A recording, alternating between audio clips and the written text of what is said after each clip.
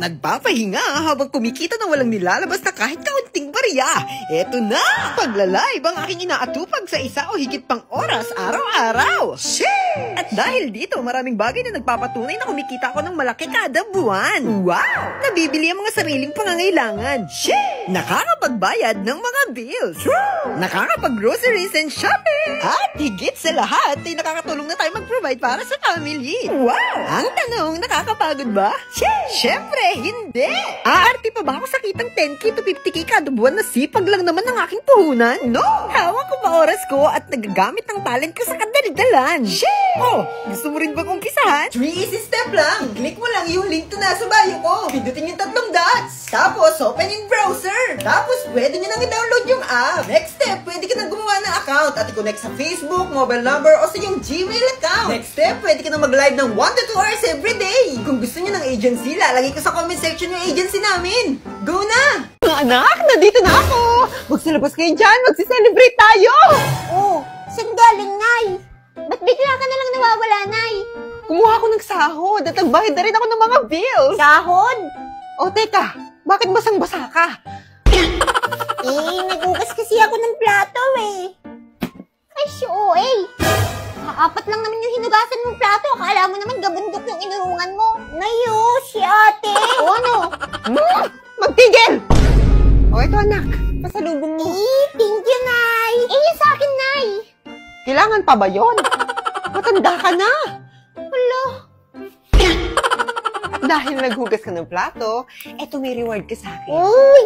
1,000! Wow! Yay! Ako rin ba may reward? Nagugas ka rin ba ng plato? Dami-dami mo palang pera, Nay? Eh, nakuha ko na nga kasi yung sahod ko sa pagla-live. Ah, sumahod ka pala, Nay. Akala ko utang na naman eh. Uy, sahod na! Sahod! Saan yan? Ituro mo naman. Teka, saan? Paano kayo nakapasok? Eh, saan ba kasi yan? Ituro mo naman. Yun na lang ba alam mong sabihin? Ituro mo naman. Ituro mo na kasi. Isa ka pa. Shit, ito na, ito na. Makinig. I-click nitong link na nasa bio ko. Tapos click nitong tatlong dots. Tapos pindutin nyo itong open in browser. Tapos i-download nyo na yung app. Ah, ganun. Tapos, Eh di mag-create na kayo ng account. Pwede i-connect sa Facebook, mobile number, o sa inyong Gmail account. Sasahod na ba kapag nakapag-download at nakapag-create na ng account? Bruha! Magla-live ka, di ba? 1 to 2 hours every day. Sipagan mo lang at tiyak, makakasahod ka.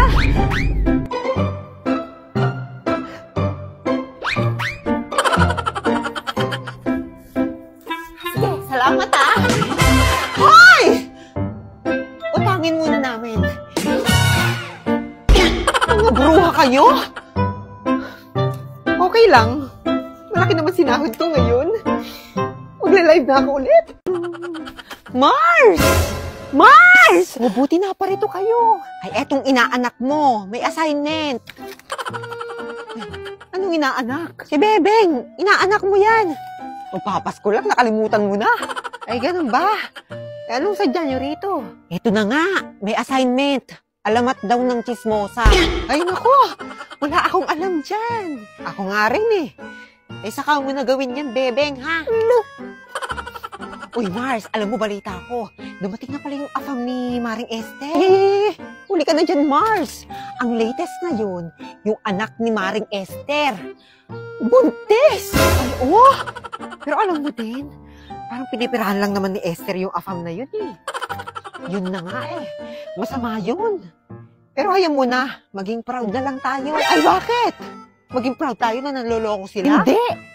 Maging proud tayo kasi isa na namang Pilipino ang makakaahon sa kahirapan. Ingay nyo! Natutulog yung tao, tanghaling tapat, nagchichismisan kayo?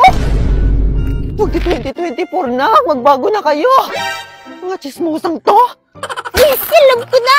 Nay, tara, uwi na. Tapos ko na yung assignment ko. Nag-anak! Alam mo na kung ano yung alabat ng chismosa? Yes, Nay. At alam mo, proud din akong dalawa sa inyo ni Aling Tuling. Ay ba? Bakit? Dahil isa po kayong alamat. Mula nang pinanganak kayo, nagkaroon ng chismosa sa mundo. At yun yung kwento ng alamat ng chismosa. Ano anong unang binibili ng mga nanay nyo kapag nag-groceries? Yung nanay kasi namin, sangkap sa pagluluto ang unang nais. Mapapakamot ka na lang talaga, oy. Naku, tuwang-tuwa ang ina nyo. Eh, parami na ng parami. Iiyak na ba ako nito? Siyempre, no. Ilaban na yan. Igiling-giling. Igiling. Grabe namang napakarami Kumirit pa kami ng dalawang yellow basket. Tinanong ko nga si Ina kung may pambayad siya. Ang sagot niya, Kala ka dyan. Nagpapaiwan talaga ako dito ah. Ay, tumataginting. Parang benta ko na lang yata yung kidney ko dito. Tapos na kaming mabili. Nakakuha pa kami ng 8 tokens. Tapos lumabas na nga kami. Para ilagay na yung mga napamili dun sa kotse. Naalala ko nga palang 250k followers na tayo sa Facebook. Kaya bili na rin tayo ng cake. Salamat po sa mga patuloy na sumusuporta. At sa patuloy ring ng baba. Mahal na mahal ko po kayong lahat. Habang hinihintay ang cake, nag-fill out naman sina ng mga raffle ticket. Uy, akala mo naman mananalo. Kinuha na namin yung cake. At tinulungan na sina sa mga raffle-raffle kineso. Na mga mag-asa pa siya. Akala mo naman mabubunot talaga. Tingnan nyo namang napakarami ng entry. Zero. Bago umuwi, kumain muna kami. Tapos nung nabusog, uwian na. Balitaan ko kayo kung saan pa napunta yung sahod ko. Sa ngayon, nairaos na namin ng mga groceries. Diyan muna kayo. Ito na ang mga steps. Three easy step lang. Click mo lang yung link to nasa bio ko. Pindutin yung tatlong dots. Tapos, open yung browser. Tapos, pwede nyo nang i-download yung app. Next step, pwede ka nang gumawa ng account at i-connect sa Facebook, mobile number, o sa yung Gmail account. Next step, pwede ka nang mag-live ng 1 to 2 hours every day. Kung gusto nyo ng agency, lalagay ko sa comment section yung agency namin. Go na! Nay, may assignment kami sa school. Assignment? Hindi mo bakasyon na. Eh, walang ganun sa school namin. Aba?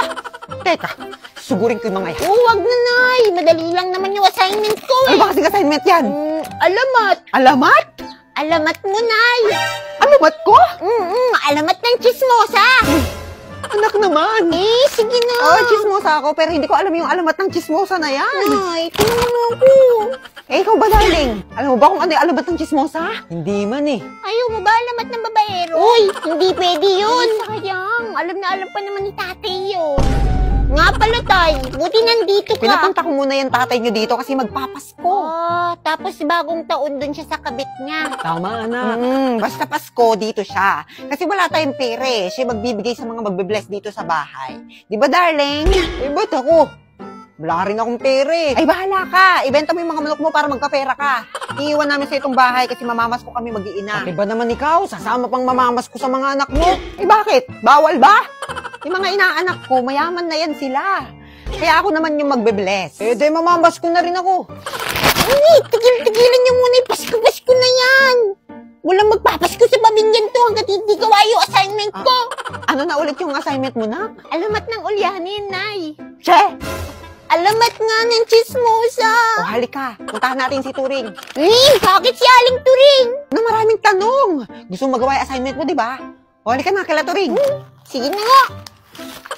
Kumusta mga chong? Dahil magpapasko na. Yung sahod ko sa pagla-live ngayong December, magagamit ko na. Oops, bawal mo na utang mga chong. Ay ba, sige, baka makagat ko kayo. Marami tayong paglalaanan nito ngayon. Pwedeng pang gifts, pwede rin pang handa. Hiwalay na natin. Punta kami ng bayan ngayon. Para bumili ng mga pangregalo. Poporma tayo dala ng malaking bag. Babay muna kay Lola. At nagpaalam na rin ako sa aso kong malikot. Ingat po. Yun ang sabi niya. Tara, takbo na. Pasko na nga talaga. Kasi malamig na yung simoy ng hangin. Pumunta muna ako dito kina Ina. Para sanduin si Kuya Empoy. Kapag kasi bumibili kami ng gifts tuwing Pasko, siya lagi yung kasama ko. Tamang likot-likot lang. Pero pag nasa labas, tahimik naman kami. Para kunwari matino kami tao. Pero alien po talaga kami. Sakay na tayo ng motor. Para makaluwas na ng bansa. Si OA. Ito na, lumilipad na kami. Dumaan sa puro bukid. At dumaan din sa kalsada. Malapit na matapos tong flight. Ito na, nakarating na rin sa wakas. Grabe, ang ganda dito. Walang ganito sa Pinas, feeling ko. Alo, dito muna kami mamimili ng mga gifts. Dito sa bargain. Sayang di namin kasama si Ina. Pagkasama kasi namin siya, nalulugi yung mga nagtitinda. Eh, malakas tumawad eh. Kaso yun naman yung wala sa powers namin. Hindi kami makatawa. Tamang lakad-lakad at tingin-tingin muna. Ito nga si Kuya Empoy, pinapili ko na kung anong gusto niya. O, di ba hindi na surprise yung gift ko sa kanya? Eh, puno na yung malaki kong bag. Balik muna tayo para tumambay. Iisipin ko pa kung ano yung mga bibilhin. Nga pala, malapit na rin magpiesta dito. Kaya happy birthday po. Magmimerienda muna kami kasi nagutom ang mga tao na to. Pagkatapos bumili, syempre tatambay muna kami para kumain. Oh, di ba ganda ng park? Kaso yung binili namin siomay walang stick. Kaya pinaraanan na lang. Kumuha si Kuya Empoy na pwede maging stick sa puno na to. Para makain namin tong siomay. Tuhugin na ang milk tea. Ay, shake pala yan. Kainin na rin natin tong fries. Timplahan na rin natin tong mga siomay. Saktong-sakto, wala pa akong kain ng tangali. At effective nga gawing stick tong galing sa puno. Kain na po tayo. Ay, yummy. Siyempre, habang kumakain, nagchichismisan din. At iniisip na kung ano pa yung mga bibilhin. Yari na nga kami magbiryenda. Kaya itapon na itong mga basura. Punta na kami sa next namin pupuntahan. Sumakay na ulit ng eroplano. At nag-flight ulit. May salamin pa dito. Pwede magpabugi. Yan, dito kami ngayon sa RCS. Bida ang saya. Ay, mali. Okay, alam ko na na wala na akong pag-asa sa raffle na to. Kaya mag-selfie na lang tayo. Si Oy. Bilhin na natin yung kulang sa mga pangregalo. Grabe, ang daming tao dito. Sobrang daming namimili. Hanapin ng pangregalo. Uy, parang butike. At syempre, ang last, kailangan natin ng pambalot ng regalo. Bili na tayo ng marami para ibabalot ko na lang yung sarili ko. Eh, pwede ba yun? Ito na magbabayad na kami. Eh, ang haba rin ng pila. Yung natapos na, syempre, babalik na kami ng Pilipinas. Grabe, nakakapagod tong biyahe. Bilisan na nating umuwi at magbabalot pa tayo ng mga regalo. Ito na nga, sa wakas, nakarating na rin kami sa Pilipinas. Miss ko na mga anak ko. Si OA. Karating dito sa bahay. Nag-assemble kami ng electric fan. Nabunot kasi si Lola sa rapol. Yes. Sana all swerte sa rapol. Nga pala, magbalot na tayo ng gift. Aminin nyo, kapag Pasko, ang sarap nakakatanggap ng gift. At masarap din nakakapagbigay. Eh kayo, anong gusto nyong gift ngayong Pasko? Comment nyo nga. Yung sa akin kasi parang every month nakakatanggap ako ng gift. Pwede all. 10k to 50k, pwede tayong kumita. Kung gusto nyo rin subukan, sundan nyo lang itong mga steps. 3 easy step lang. Click mo lang yung link to nasa bio ko. Pindutin yung tatlong dots. Tapos, open in browser. Tapos, pwede nyo nang i-download yung app. Next step, pwede ka nang gumawa ng account at i-connect sa Facebook, mobile number, o sa yung Gmail account. Next step, pwede ka nang mag-live ng 1 to 2 hours every day. Kung gusto nyo ng agency, lalagay ko sa comment section yung agency namin. Go na!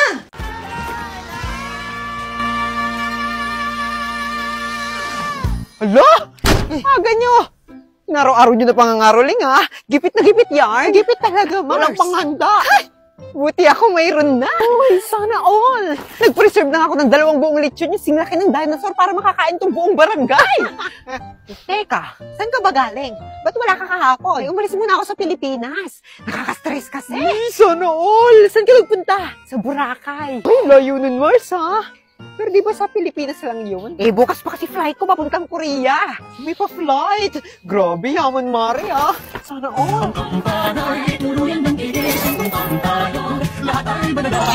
Ay, grabe, dami naman yung dala mo, Mars. Para saan yan? Buti napansin mo. Para to sa mga anak ko. Oo, pamasko nila para pag nag-bless-bless sila, ganyan. Tapos yung iba naman mga regalo para sa mga inaanak ko sa labas. Uy, sana all. Alam mo kasi, nakapag-withdraw ako nung isang araw. Oh? Saan? Eh, di sa Cebuana Luwilier. Uy, sana all. No more sana all. Kasi sa Cebuana Luwilier, pwede all. Pwede, pwede na mag-withdraw at iba pa sa over 3,000 branches ng Cebuana Luwilier nationwide via BankNet. Oh, ano pang hinihintay nyo? Mag Cebuana Luwilier na rin kayo para pare-pares tayo may budget sa Pasko. Tao po! Tao po! Tao po! Duday? Ano yun, Neng? Ako po si Mirna. Po si Susan. Kaibigan at classmate po kami ni Duday. Sige, masok kayo. Ay naku, ako lang na naman naiwan sa bahay. Duday! Ay! Day! Uy! Eh, ba't nandito kayo? May gagawin tayong project, di ba? Paano kayo nakapasok? Bakit hindi kayo tumawag? Kanina pa kami tawag ng tawag, kaso walang sumasagot. Buti nga pinagbuksan pa kami ng nanay mo ng pinto. Nanay ko? Oo, si Tita Marites. Pero, Sige na. Sige na, doon na kami ah. nanay ko? Eh, kakaalis lang nila nanay ah. Bibili muna ako ng makakain natin ha. Sige, sige.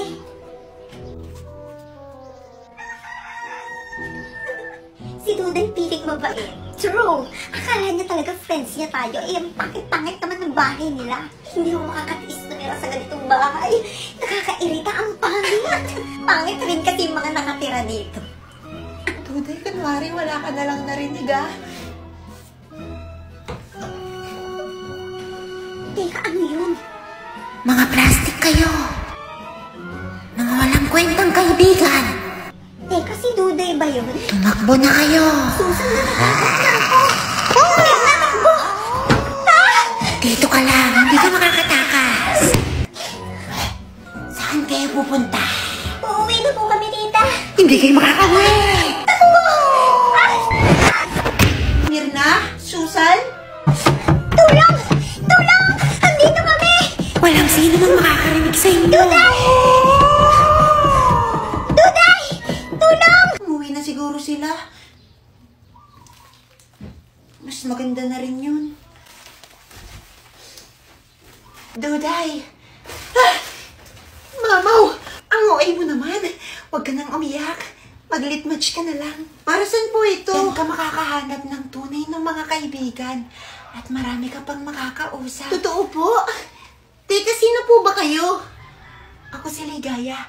At isa na akong multo. Multong nagli-lit match? Pwede ba yun? Masaya kaya mag-lit match. Be, be, be, Susan, narinig mo ba yun? Ano ka ba? Natutulog yung tao eh. Try rin natin yung late match na sinasabi nila. Wala yung cellphone ko, nasa labas. Bahala ka, ako na lang. Siya nga ka ba? Uunahin mo pa talaga yan kaysa isipin kung paano tayo makakalabas dito. Whoa, you look as beautiful as ever. And the spread that every day you get better. You make me feel this way somehow. I'm so in love with you, and I hope you know. Pangit ng boses ni Kuya Nay? Ha? Ako na, ipakinggan mo. In this California king bed, where 10,000 miles apart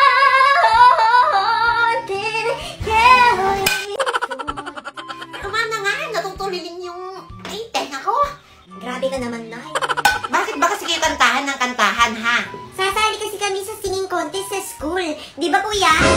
Singing contest? Yes, Nay. Sino sa tingin niyo mananalo? Ah, eh...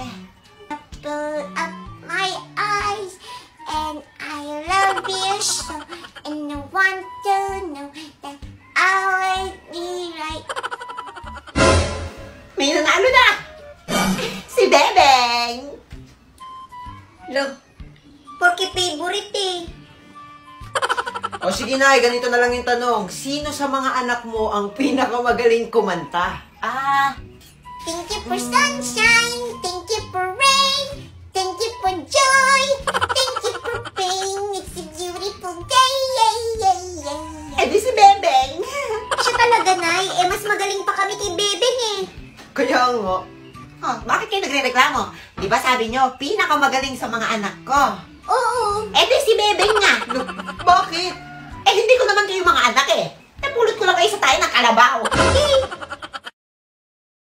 Kumusta ang undas mga chong? Tara, samahan niyo ulit ako sa sementeryo. Kinuha ko na tong mga kandila dahil magtutulos tayo ngayon. Dadalawin ng mga yumaong mahal sa buhay, Sana all na lang sa mga dadalaw sa jowa nila tapos sa sementeryo yung meeting place. Uy, si OA. Tara, labas na tayo ng bahay. Alalahanin, baka may naiwan. Minsan kasi kapag aalis, nakakalimutan pa yung mahalaga. Minsan nga nakakalimutan pa yung sarili. Pero ngayon, ang mahalaga, dala ko yung kandila. Kaya ibinag ko na. Baka kasi mababa ko kung saan. Bago ako umalis ng bahay, inanap ko muna yung aso kong makulit. Eto nga't mas excited pa siya sa akin. Akala mo naman talaga siya yung magtutulos ng kandila. Punta kami ngayon kila Ina. At tinakbo na lang namin to. Running distance lang kasi. Uy, running distance. Ayan, kasama ko yung mga aso ko. Si Nati at si Kalan. Nakasalubong pa tong mga anak ko. Hi, Kuya Babsi! Yan lagi yung mga bati nila. Nakarating na ako sa bahay. At lakad-lakad muna ako dito sa katabing bukid. Nga pala pupunta ng bayan sila nanay. Kaya magpapabili tayo ng chichirya. Kasama niya si Sarah. Hindi kasi kami pwedeng umalis ng walang dalang pagkain. Ayan, kailangan pang takasan ng pamangkin. Tatampo pa yan. Yan ang tagapagmana ng Encantadia. Ayan, okay na. Makakaalis na sila at makakabili na ng mga ngata. Ingat po!